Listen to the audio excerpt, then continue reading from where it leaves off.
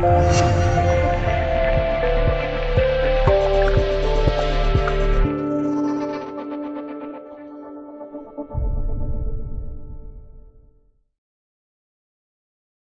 中国国内还沉迷在国产航母的喜悦中时候，大洋彼岸传了一个不好消息，那就是美国的最新型福特级航母已经下水。福特级航母被誉为世界最强航母，比中国国产航母先进了二代。那么，美国福特级航母到底有多先进？福特级作为美军最新锐的航空母舰，不得不承认的是，它确实是目前最强大的航空母舰。相较于其他航母，包括美国现役的尼米兹级航母，它的主要优势体现在：第一，能源动力系统更加强大；第二，舰载机运作效率更高；第三，所配的人员更少。如果画一张综合实力对比图，福特级航母的第一艘福特号与中国的辽宁舰相比，基本上可以说是强了一圈。虽然从公布的数据来看，中国航母各项技术能力没有明显的缺陷，基本上是排在第二梯队。个人认为，第一梯队只有美国的福特级，但是美国依然对中国保持着代差的优势。首先来看它的动力方面，福特级航母配备了两台 AEB 核反应堆，可以连续使用五十年，基本上服役了以后就不用再换了。这是中国以及其他国家差距最大的地方。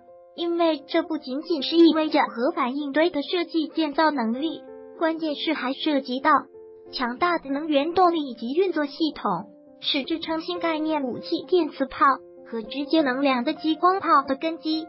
而其他方面的延伸技术，美国的电磁炮技术及激光技术都走在世界的前列。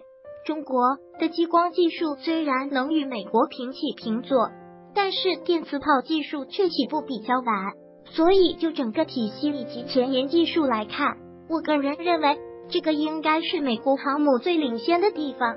当然，还有一点就是福特级航母强大的舰载机运作效率。现在已经确认福特机配备的是电磁弹射系统。虽然中国等其他国家都在拼命研制，但不得不说，美国还是先制造了出来。电池场射系统能够很好的适应各型飞机的弹射。效率更高，耗能更少，是未来航母的必然趋势。另外一个方面，便是它的所需成员更少。有人可能觉得这并不是什么优势，但是更少的成员意味着福特级航母所要依赖的、所要训练的人也更少。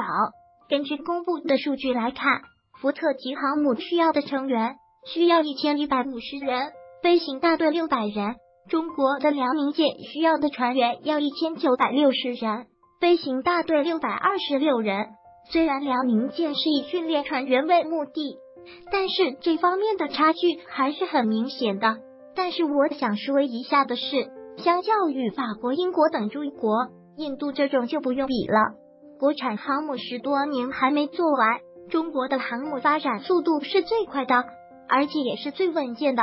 前段时间，巴西宣布也将退出航母俱乐部，那是因为要发展航母，各种前沿技术的要求都越来越高。中国的航母能够快速发展，不仅仅是经济的问题，也是科技的崛起。现在战争必然是体系与体系之间的对抗，相较于美国在这方面的实力，中国还有很长的路要走。